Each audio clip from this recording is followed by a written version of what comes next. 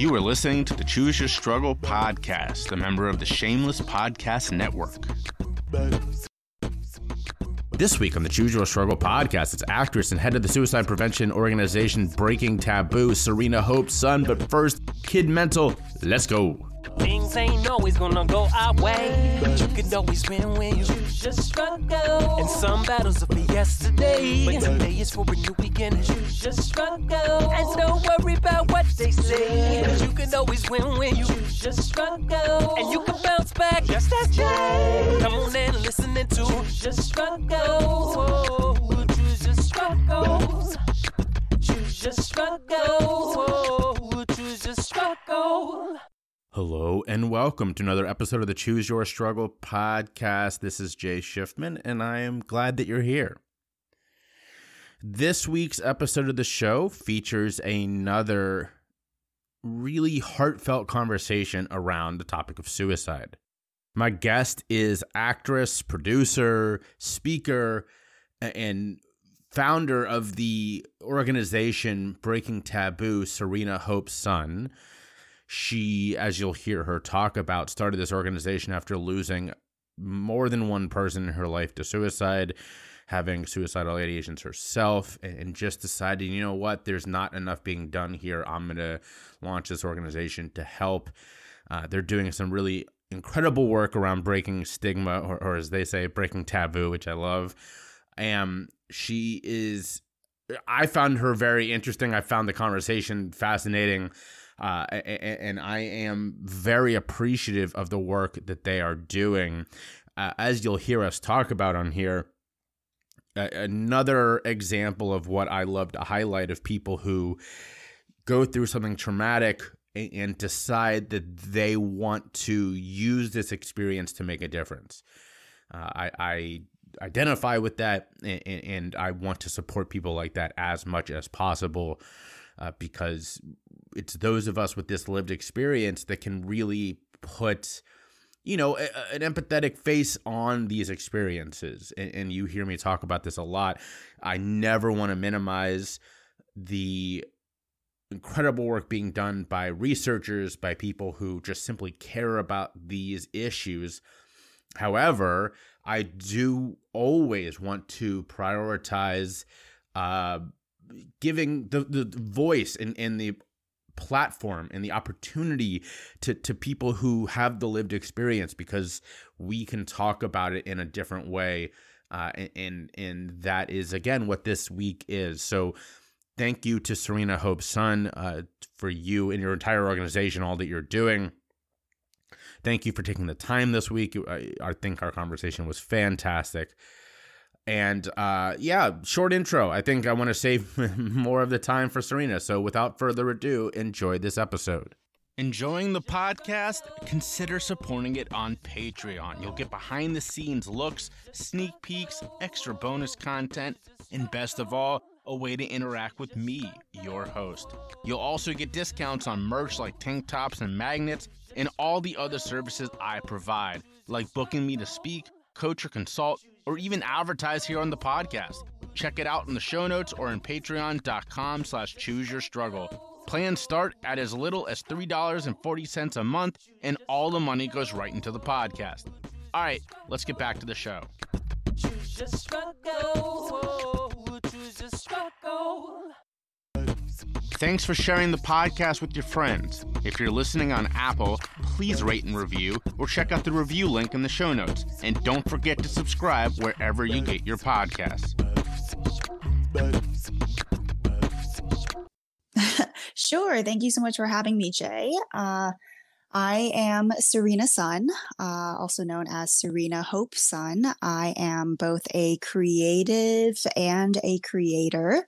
So I consider myself a serial entrepreneur as well as a serial creative. I am the founder and CEO of the mental health and suicide prevention nonprofit Breaking Taboo.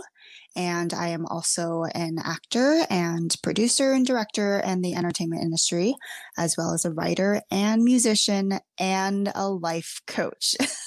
so I do quite a few things. Uh, yeah.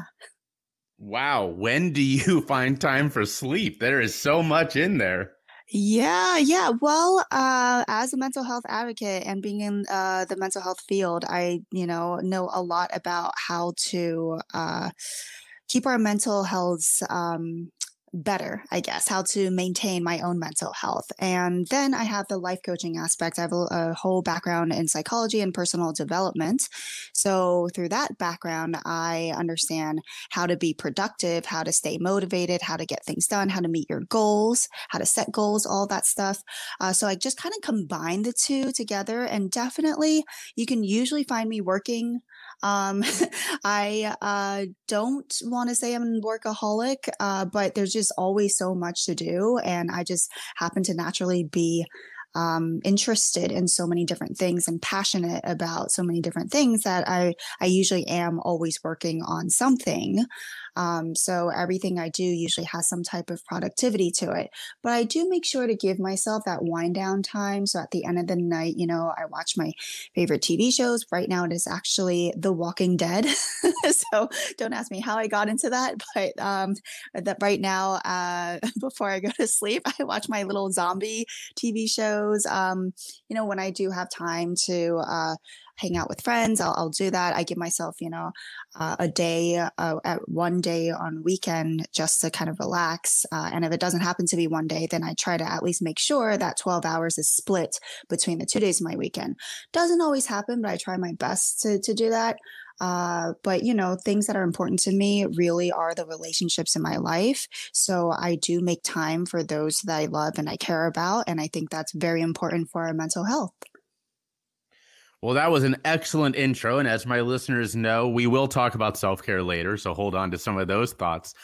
But uh, before we get into all of that, we need to hear your story. Who is Serena Sun and how did you get to be where you are today? Yeah. Oh, who is Serena Sun? Besides what I just uh, told you. Um, I'd say I'm a, a very curious, um, passionate, and uh, a genuine person. Um, people have told me that it's pretty easy to talk to me, and I tend to, you know, um, uh, advocate for things, many things. So I guess, you know, I'm an advocate at heart. I, I stand for causes. I, I get really, really passionate about causes and I kind of make that a part of my life. And, you know, there's always a reason to me doing the things that I do. Um, I'd like to think that I'm a pretty deep thinker. Uh, at least I'm told that I'm always thinking about things. so, um, on a deeper level. So I always try to find the meaning uh, a deeper meaning behind what it is that I do that like makes my life feel fulfilled and gives my life purpose, you know. So it's not just going to work, it's not just doing work. It's like, you know, I'm doing this for a, a reason. And, you know, all of these things that I do mean a lot to me. And I think that's so important to to me personally. Um, you know, self-care, mental health or not, it's just it's just the way that I'm built.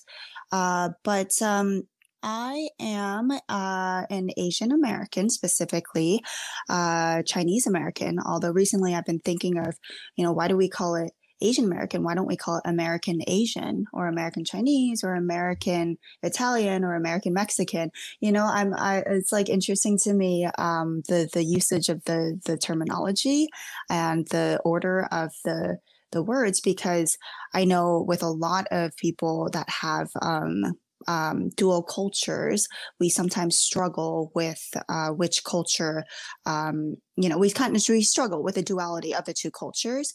Uh, but I am a U.S. citizen, so sometimes, um, you know, I feel like you know America is first, and um, you know, so yeah, so that's that's an interesting subject that I've been thinking about as of recently. Uh, but yeah, I am an Asian American, and I am very much involved in the mental health sector. Um, I have lost multiple friends to suicide, so that's how I got involved in suicide prevention. Uh, and I used to give seminars. Um, I still do on mental health, but I used to give seminars specifically on suicide prevention. Um, and uh, it was because I lost another friend of mine that I started breaking taboo because I basically got sick of losing people in my life to something that I know. The fact is, suicides are 90% preventable. And that's something that people don't really know. But there are a lot of signs and symptoms uh, that, you know, right now I'm educating people on watching out for. And there is a lot of mental health involved in this type of last resort action. Uh, so, you know, that's why Breaking Taboo has its name because I realized that we have to concentrate on the actual root cause, and the root cause is the taboo around all of these subjects. So, you know, people aren't going to speak out about this or get help about it if they feel like there's such a shame around it, you know. Um, so it just doesn't help. So that's basically, you know, we focus a lot of our efforts on breaking this taboo and uh, also educating people on this stuff. Yeah, what else do you want? Well, oh, no. First, first, first off, I'm sure there's a lot more, and I'm excited to hear it. But uh, first, I do want to say thank you. Um, there, you know, first off, uh, well, two things I, I should say. As someone who, number one, I, uh, most of what I do is aimed at ending the stigma. I appreciate that, that you address that head head on, and we'll obviously talk about that in a little bit. But, but even more so, as my listeners know, because I talk about this a lot, there's sort of two different types of people when it comes to this work. There are people who they go through something in in my case, you know, living through two suicide attempts, in your case losing too many people because one person is too many people to suicide.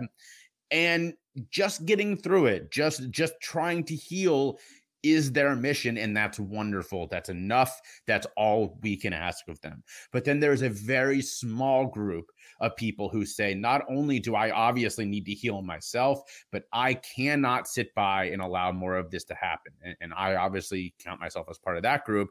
And mm-hmm. i love talking to people like yourself who are also part of that who see this issue and say just taking care of myself I feel empowered to do more. Uh, and that's, it sounds like that's where your work comes from.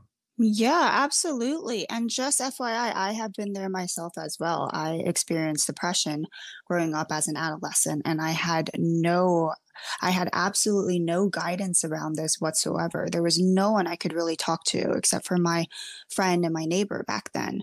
I remember we went to our guidance counselor one day and we we told her and she just gave us some pamphlets you know, and was like, oh, tell your family to take you to therapy. And my family didn't believe in therapy back then you know? Uh, there's such like the stigma is so strong. Um so yeah i mean i cried myself to sleep every single night for the longest time uh, when i was in high school.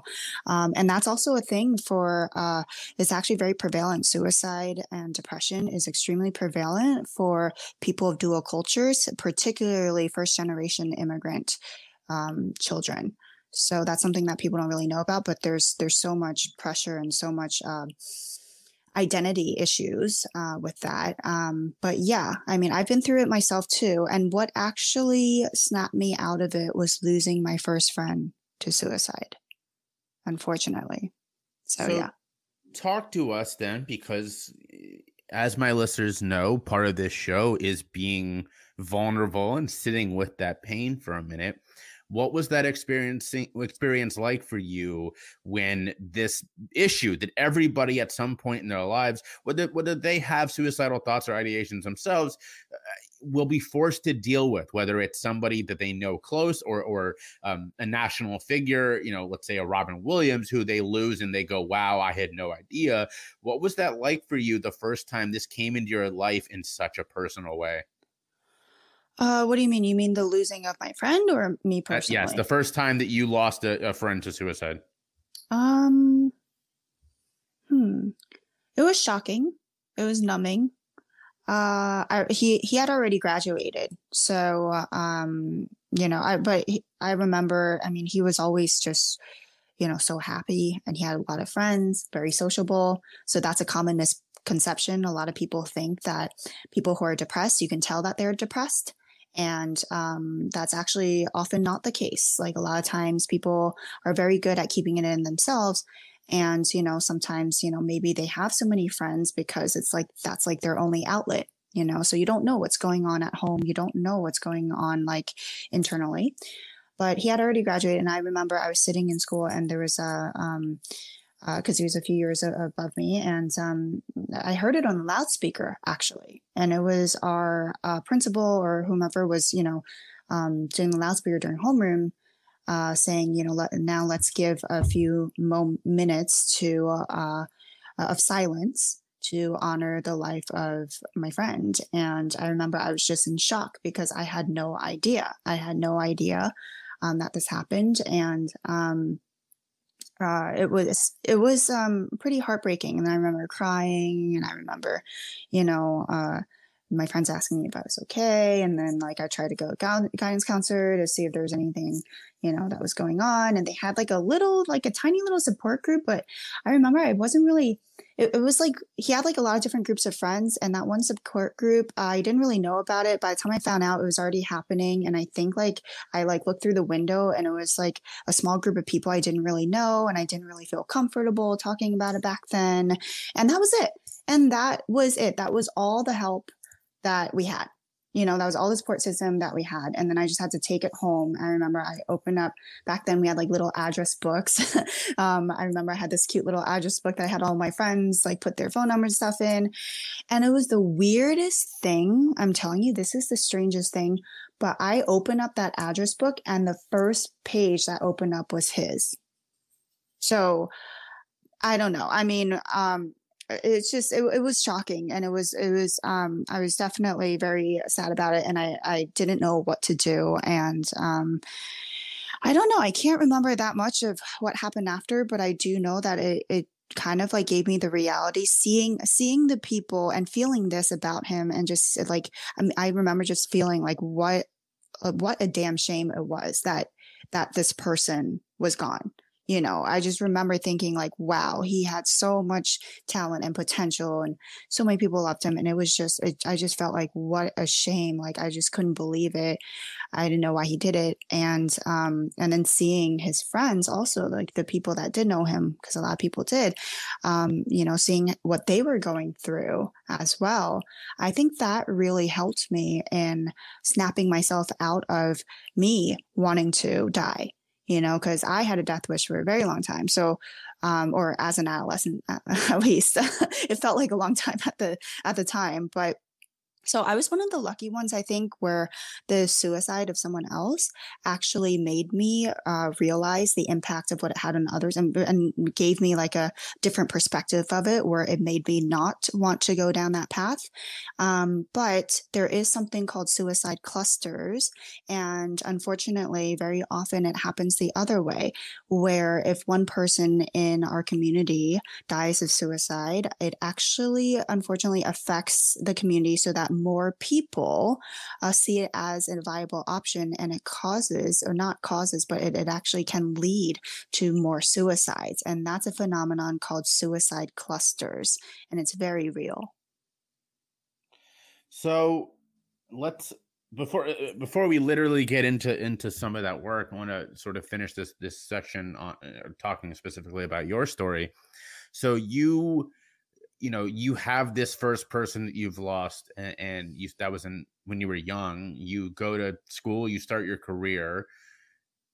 What finally made you go okay i need to do more. I need to dedicate at least a, a solid part of my life to this work uh yeah um i would say that it was the loss of another friend uh of mine who uh, was in the entertainment industry. He was um, probably one of the most talented musicians I had ever um, known in in my lifetime, and I guarantee you, everyone that's heard him play will will say that. Um, and again, someone with so much potential, with so many friends, who's relatively well known. You know. Um, I've been on like you know hundreds or if not like dozens of, of records at least you know with a, a, really you know just amazing people and amazing talent. And there's just it seems like you know um, people have like everything going for them um, but they don't. And um, you know and and basically unfortunately um, he uh, jumped off of a three story parking lot and um, yeah, and that really shocked me. That really shocked me because uh, this person was responsible for me getting into jazz. Basically, he was like the sole person responsible for me discovering jazz music. I had known him uh, for um, uh, like a, a, long time, over ten years, and um, you know, it just it, it was just shocking. And I found out later because I had kind of lost touch with him um, for like a, about like a year or so. Just kind of like, you know, me doing my career, he doing his. And, you know, we'd always see each other in like gatherings and whatnot. But I didn't know. I kind of wish that I was there more in that point of his life um, because what I did not know was that his brother had just died of suicide, uh, I think a year, or a year and a half before. And again, that's where the suicide cluster, like that's basically, you know, um, a, a possible example of that. Um, and I did not know that he was having such a hard time dealing with that. So a part of me kind of felt bad for not really being in his life around then. Um, and also, he knew that I had a background in suicide uh, prevention and and you know psychology and all of this and i just I, I was living with survivor's guilt after that for a very long time. And I think a part of um, breaking taboo was to heal myself from that survivor's guilt from like okay this sucks. I don't want to ever have to go through this again i don't want other people to have to go through this again. Like i, I just don't want this to happen again you know period. Um so yeah. So i remember after after his death i i went through uh, a short spout of um, depression again. I mean, I say depression only because it lasted longer than two weeks, you know, like the clinical diagnosis. Uh, but, you know, in reality, uh, it could have very well just been like a very deep form of mourning, you know. Um, but it was scary. That was a scary period for me as well. And it was very painful. And uh, I was struggling with it for quite some time for like a, about a year um, or so. So, uh, yeah. So I, I remember I had this light bulb moment when I was just thinking about, you know, all the suicides that were happening and just thinking like, why is it that we have all these resources, but people just don't you know people just aren't doing anything about it. Like we have so many resources and we have so many not so much knowledge. Psychology's been around for a long time. Like but why are people not really getting this knowledge you know? Why is why is this not common knowledge for people? So that's where i had the light bulb moment of it's the taboo. And also that if i could if i can break this taboo then I I'll have a better chance of getting this knowledge out on the table for everyone. So um, yeah, so it was kind of like a dual purpose thing. So yeah, that's basically what led me to breaking taboo. well, thank you so much for for that vulnerability that that you could you could hear it in the way you talked about it how how deeply that sat with you and before we get into uh, what breaking taboo looks like what this incredible work you're doing uh, literally is let's stop real quick. Let's pause and give my listeners a chance to learn where they can follow you online. Oh yeah, absolutely. So so you can follow my social. I'm still working on my website because I spend so much time working on the Breaking Taboo website that I always put my own personal website on back burner. Uh, but I do have a domain. So when it comes out, the domain is serena-sun com. Uh, but for now, you can find me on my socials at Serena Hope Sun on Instagram and Serena Hope Sun on Facebook and Serena Hope Sun on Twitter. And yes, I do go by Serena Hope Sun as well. In fact, there's more about me on Google and stuff um, under that name, Serena Hope Sun. Uh, and then as for Breaking Taboo, you can check out our website, breaking-taboo.org. Uh, Instagram is at Breaking Taboo, Facebook at Breaking Taboo, Pinterest Breaking Taboo org, and Twitter is Breaking under. Oh, sorry, Breaking Tab. Wait, yes, breaking underscore taboo. There's so many to keep track of. Um, and we're also on YouTube as well. So yeah. And TikTok, and TikTok. We just joined TikTok. I am so excited to tell you about my new CBD sponsor, Roadrunner. Y'all know I love my old CBD sponsor, and I switched for one main reason. This stuff works. I've been a runner my whole life, but unfortunately, I'm also super easily injured. One of my high school friends used to call me Mr. Glass. And back in 2015, when I ran my first half marathon, I got hurt, like really hurt. And since then, I haven't been able to run more than three or four miles without serious pain. That is until I tried Roadrunner CBD's muscle gel.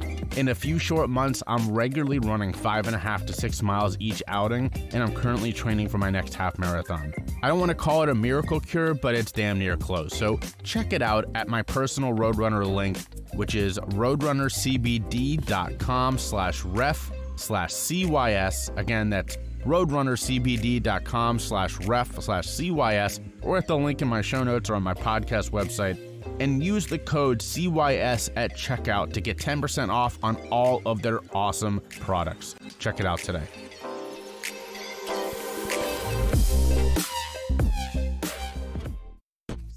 Subscribe to my Patreon for behind the scenes looks at the podcast, sneak peeks, and bonus data. You'll also get a discount on Choose Your Struggle merch. Find it at patreon.com slash choose your struggle.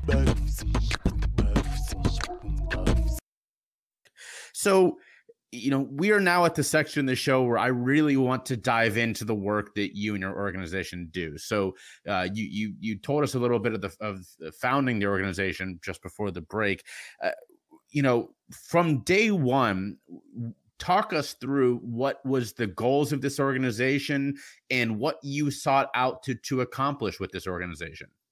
Yeah, so from day one, it was to break the taboo around mental health and suicide prevention um, uh, while providing accessible education to the general public. So that's kind of like our, our mission statement as a whole. Um, so in order to provide this education, we have to first start by breaking the taboo.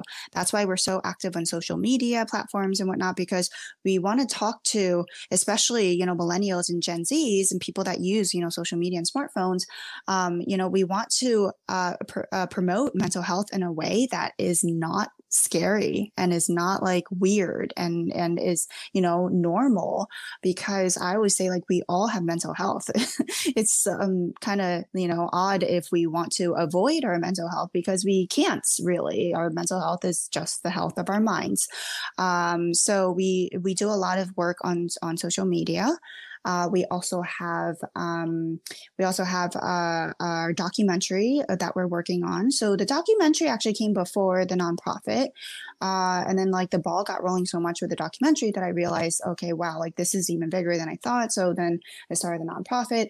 Uh, but the documentary is very much the same. Uh, we've gotten so many executive produce or executive directors and uh, of other mental health organizations, as well as you know substance abuse centers um, and all sorts of places like healing centers. Uh, we've gotten them on uh, our documentary already. Uh, we've done interviews with, you know, people that have struggled with mental health, um, people that have lost people to mental health, uh, and we still have a whole other round of filming to do. Um, so currently, right now, that is our biggest project that we are raising funds for is to finish up this documentary. Because let's face it, it takes an army to create a movie, and it ain't cheap. So, so a lot of our funds right now are, are dedicated toward that.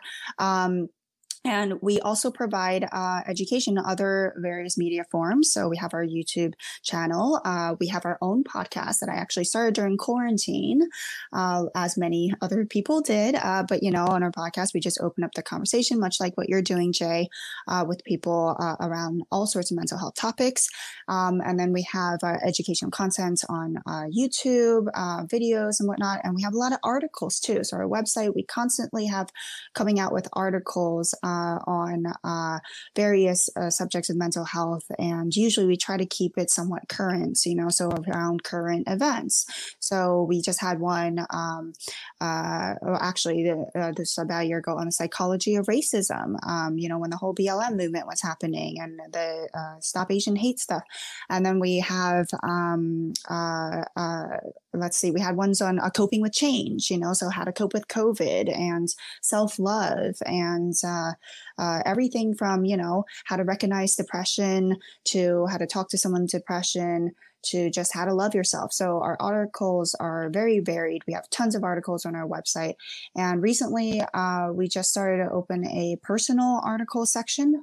So that's getting built right now. Uh, there's actually a lot of things that are getting built on our website right now. So we're going to have a bunch new, a uh, bunch of new sections.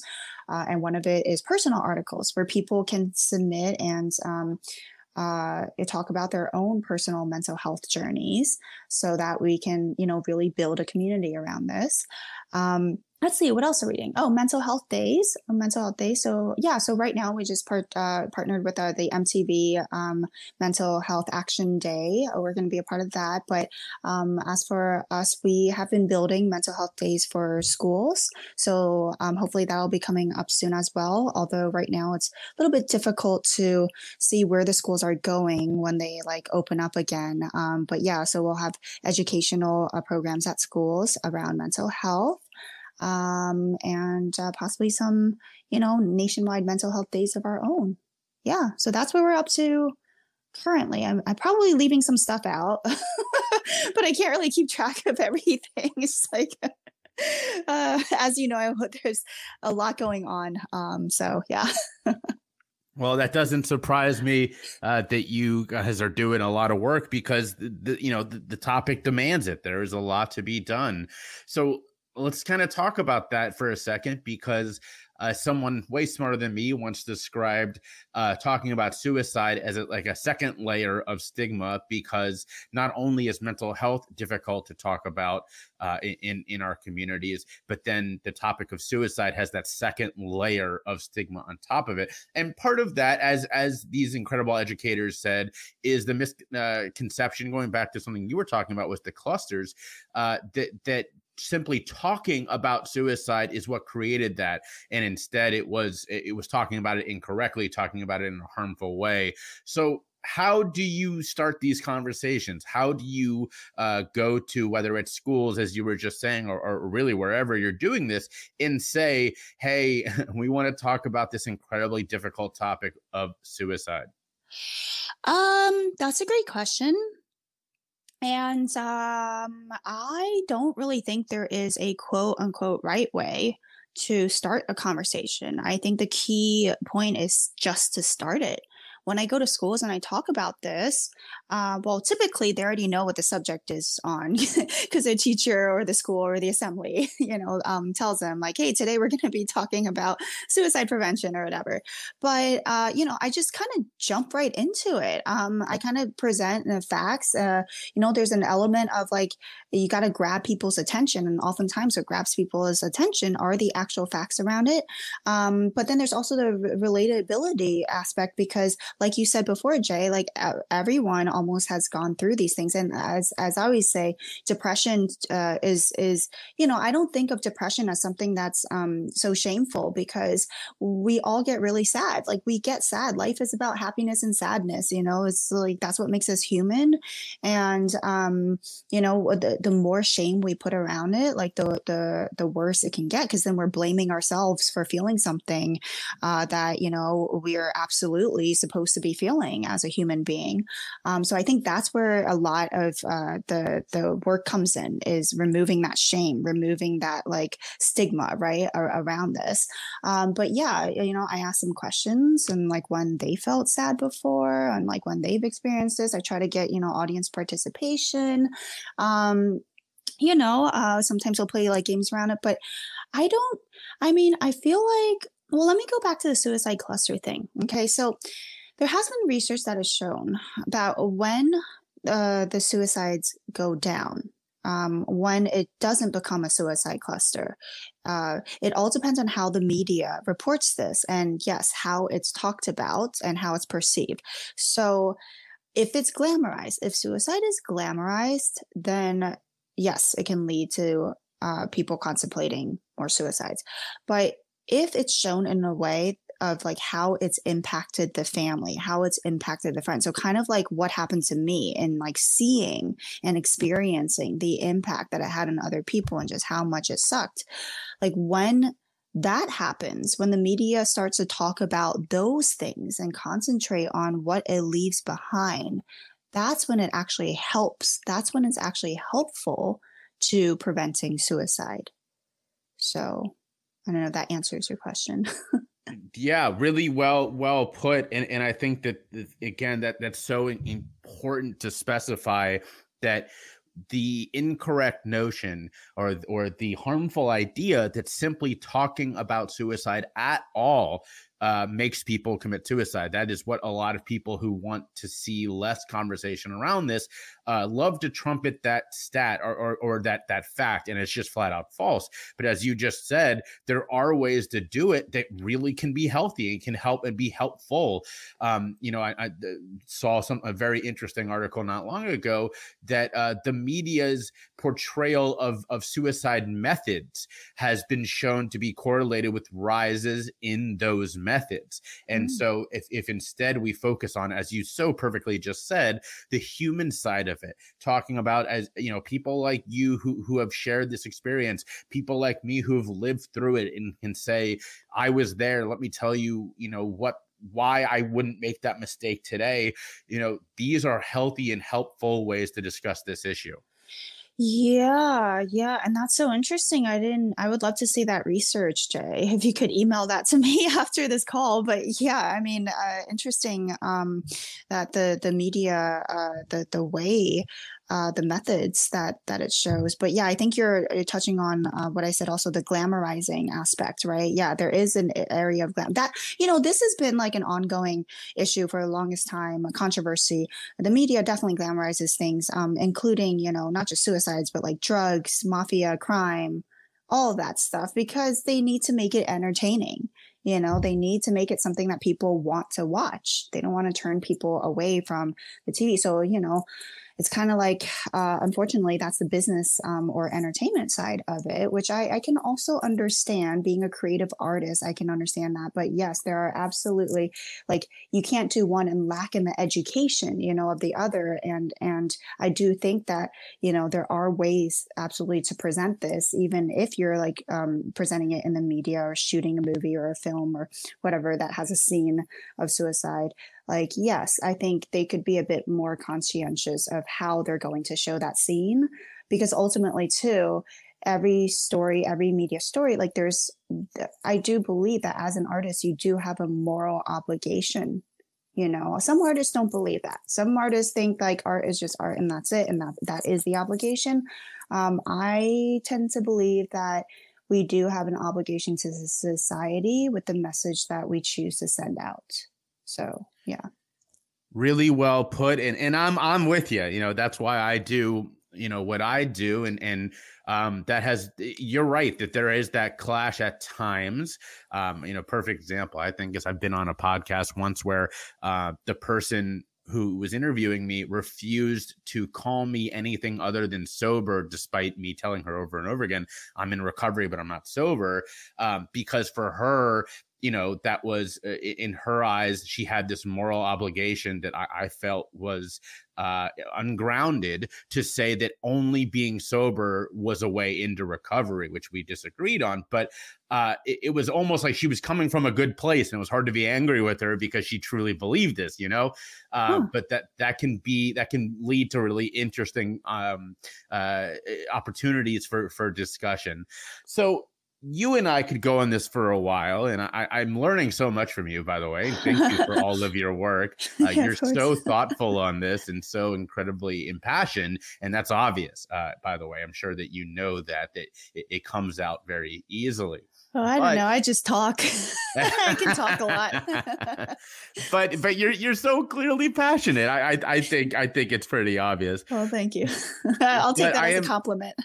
I would hope so. I mean, you wouldn't be doing this. Like, look, none of us is getting rich off doing this work, right? Uh, so yeah, exactly. Yeah, yeah. I know. I, well, I mean, you know, there's the uh, it, that's uh, coming from a personal development life coach part two. You know, and mixing that with a nonprofit, it is very interesting sometimes because I teach my own clients to like, you know, um, um, you know, not place limitations on themselves and go for the life that they want, and you know, be empowered and all that. And I do truly, really believe that that.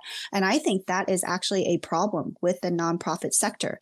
I really believe, and there's a great TED talk on this that that's an executive from another nonprofit actually sent to me. Um, but this, there's this great TED talk. It was passed around in the nonprofit world for for quite some time, and it was about. Um, oh my gosh, I, I wish are you, I could are you remember the talking name. about Dan Pallotta? Is it the one about how uh, he, he ran something? It was for like breast cancer or something. Dan right? Pallotta. Yes, Yeah, yeah, yeah. yes. And so, so listeners, if if if you're not aware of this, and I've talked about this on a couple other episodes already, so if you if you haven't heard those, uh, it it is a must watch for anybody who works in a nonprofit. By the way, uh, I, I my my past is over a decade in nonprofits, so Oh. uh, I'm with you on that. Um, eh, or or someone who cares about being uh, involved in, in financially or as a volunteer, watch this and let it change your views of nonprofits. Yeah, yeah. I mean, the the the main point, if you don't mind me giving it away, Please. but yeah, I mean, he basically he was just talking about how society at its current point right now um, is not rewarding good people for being good. So, so people who want to do good work are not getting rewarded financially, and it's kind of messed up because why are we rewarding people who who are, um, you know, uh, I don't want to use the word money hungry, but you know, like just like why are we not rewarding more, um, more people out there, more work, and more organizations out there that are, you know, actually doing things that have a greater good or a social benefit type of cause, aka like nonprofits. Um, and he was talking from his experiences of, uh, you know, using the uh, the money that he got from his donors um, and putting that into things that he thought would really like make this nonprofit grow, you know, and give this nonprofit like you know more means to to be more financially stable and bring out more awareness. So putting that into like mainstream business tactics such as advertising, you know, and things like that. And then once his donors saw the um, amount, so there's like the donor report. Once they saw how how much was going into these things ra- rather than like uh, the the the work, right? I mean, Jay, maybe you you can um, correct me on on some of the details here. But once the donors uh, saw that, he basically lost all of his donors. Um, from what he claims, like it seemed like basically he lost them overnight is the word that he used, and all of a sudden their donations just dropped. All of these major uh, sponsors like stopped sponsoring them um, because they're like, why are you, uh, you know, spending this money on these avenues? Why are you paying your employees? Like, why are you not like putting it into the actual work at hand?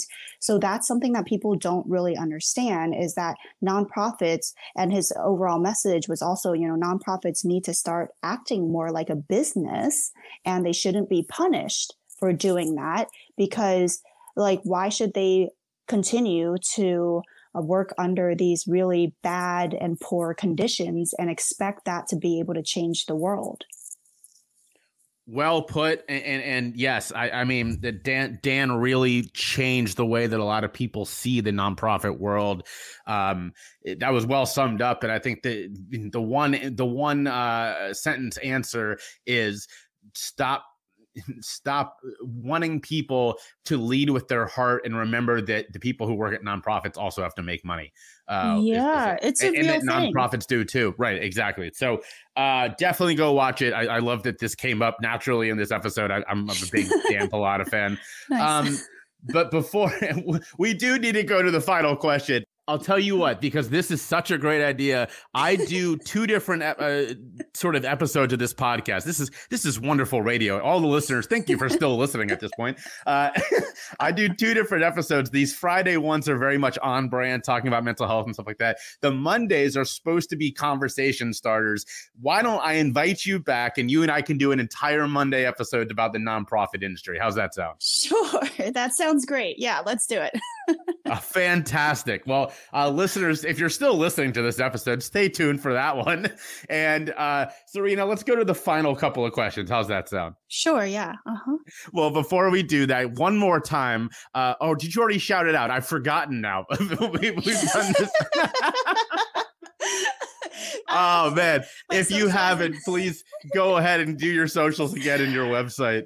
Uh, yeah, I mean, I, I did uh, before, but uh, yeah, I mean, you can find me under Serena Hope Sun, um, and uh, you can find Breaking Taboo under Breaking Taboo, uh, and then the website for that is breaking-taboo.org, and my website, my soon upcoming website is serena-sun.com. So I am, I go by two names, Serena Sun and Serena Hope Sun, um, and that's just because apparently there's a bunch of people with my name Serena Sun son. So it was like getting confusing. I was pointing people to like other people's websites without realizing it. So yeah. So I wish I could simplify it, but you know.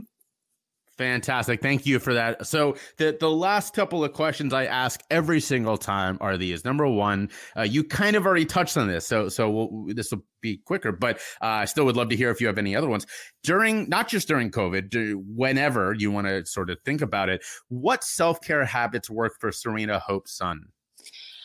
Uh, so, um, giving my time, I'm giving myself time to relax at the end of every day and not feeling guilty about it was something that I had to actively work on actually a lot um, because I always have a lot of work to do. So for everyone out there who, you know, uh, do have a lot of work and projects that they're working on. Don't feel bad about giving yourself the time that you need to just do absolutely nothing or watch your shows or hang out or whatever, because you need that. Your brain absolutely needs that to recharge.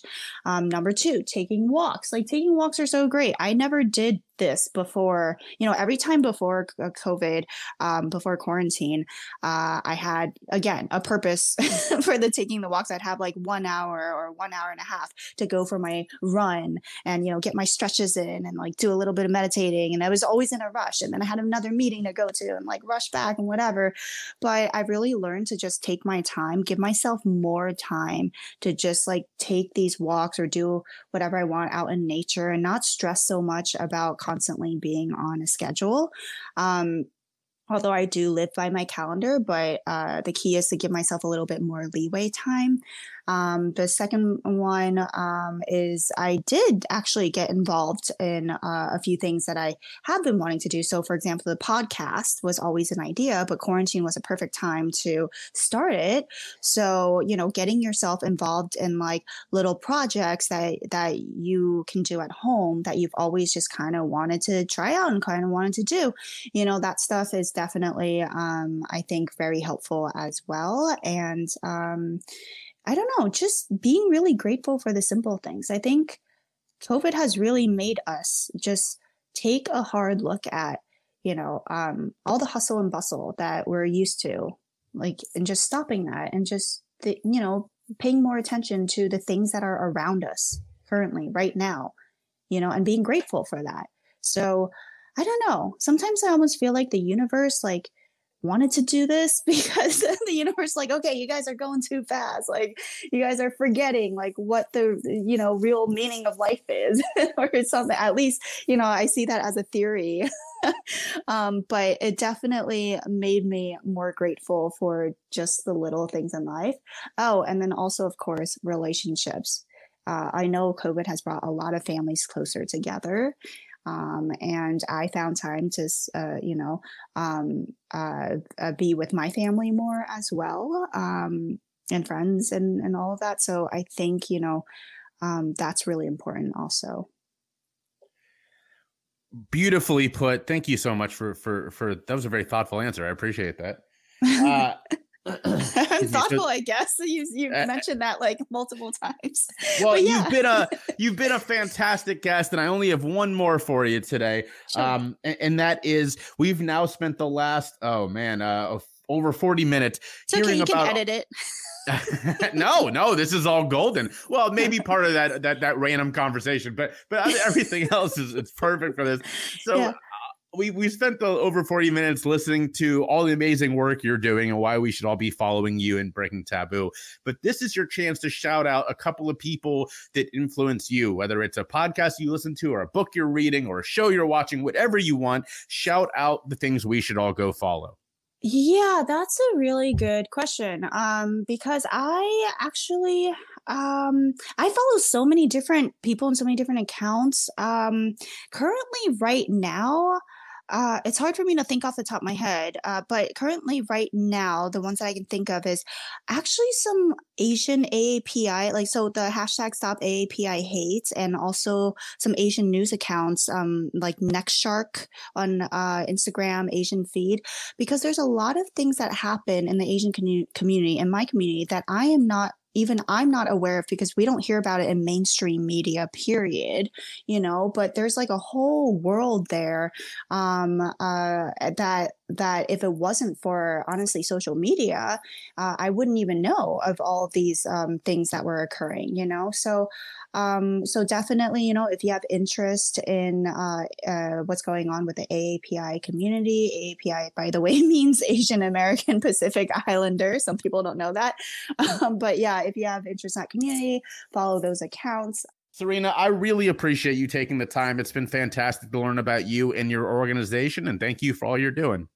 Yeah, thank you so much, Jay. It's been so nice uh, being here with you and uh, having these amazing conversations. So, yeah, thanks for opening up the conversation around these important topics. That's awesome what you do. If you've been listening to the podcast for a while, you know that it's not the only thing I do. Choose Your Struggle is an entire brand. I speak, I coach and consult. I have rock bottom storytellers. There's a lot going on. And sometimes I get to a project and I go, man, I just, I can't do all of this myself. So I turn to Fiverr. It's so easy to find incredible professionals who can help me out. I've hired people to help with marketing, help with SEO, help with my website. So much great stuff all on Fiverr.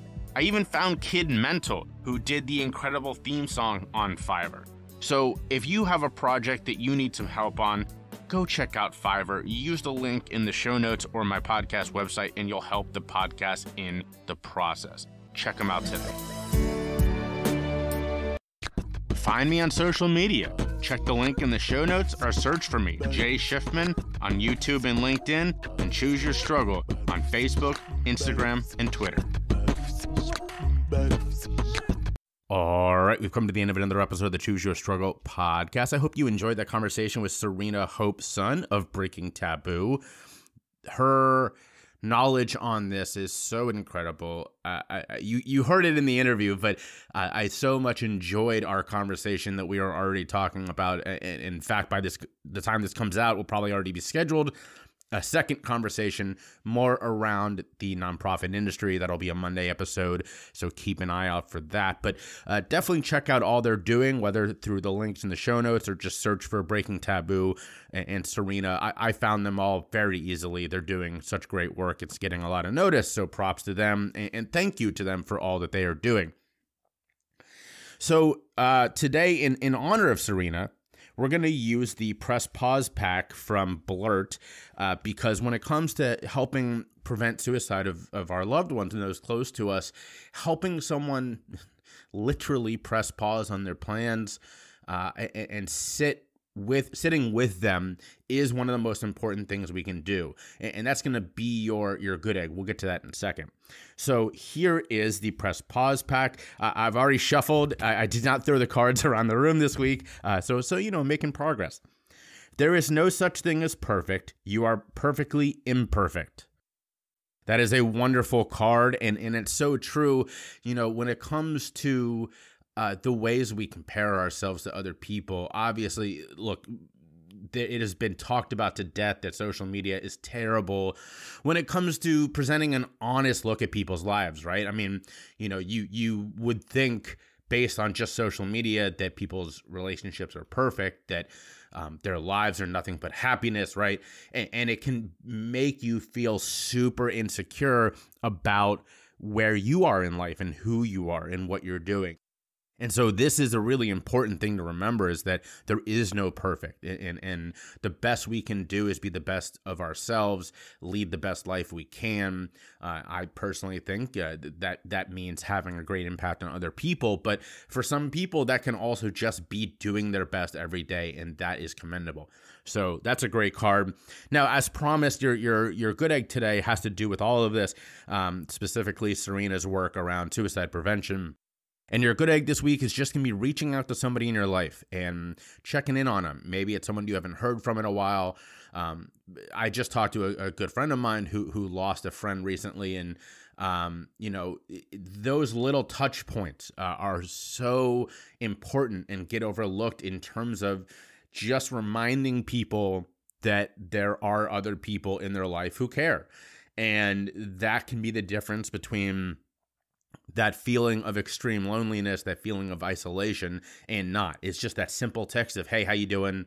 What's up with you? You know, let's let's catch up." So um, that's your good egg. It's a pretty easy one, I think. Don't be scared. Send the text, make the phone call. Uh, you know, don't I guess send an email, but you know, do, do better than email. uh, but most importantly, as always, be vulnerable, show your empathy, spread your love, and choose your struggle.